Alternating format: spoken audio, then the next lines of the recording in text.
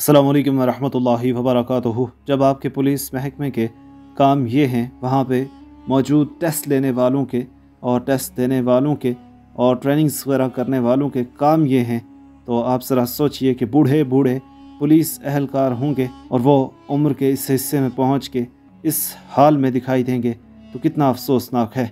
हम इस सब चीज़ पर तनकीद नहीं करना चाहते, ना ही हमें ये जेब देता है, लेकिन सोशल मीडिया की आवाम काफ़ी ज़्यादा तनकीद कर रही है।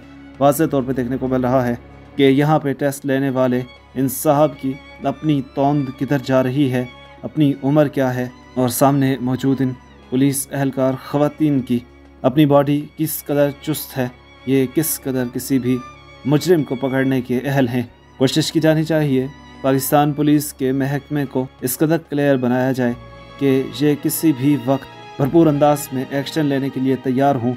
ना कि पेट बड़े हुए, हालात ख़राब हों। हम तो सिक्योरिटी पे, मामूर सिक्योरिटी गार्ड को भी चुस्त तवाना देखना चाहते हैं। अच्छी कंपनीज़ हमेशा चुस्त तवाना सिक्योरिटी गार्ड, नौजवान सिक्योरिटी गार्ड का इंतखब करती हैं। न जाने मुल्क की सिक्योरिटी के हवाले से हम इतने बेहिस क्यों नज़र आते हैं? ये कहना है सोशल मीडिया की आवाम का, जिनका ये मुतालबा है कि न सिर्फ़ पुलिस के महकमे को ठीक किया जाए, बल्कि इस महकमे में जो लोग करप्ट हैं, उन्हें भी देखा जाए। साथ ही साथ बड़ी तोंदों वालों को घर बिठा के या तो पेंशन जो उनकी बनती है वो दी जाए, या कम अज़ कम नए और पढ़े लिखे नौजवानों को इस महकमे को चलाने के लिए उनके हवाले सब निज़ाम किया जाए जो ईमानदार ज़्यादा हों और मुल्क की खिदमत को फोकियत देते हों, ना कि अपने पेट को। आज की वीडियो ज़रूर आगे शेयर कीजिएगा। आप अपनी आराधें इस हवाले से क्या कहेंगे?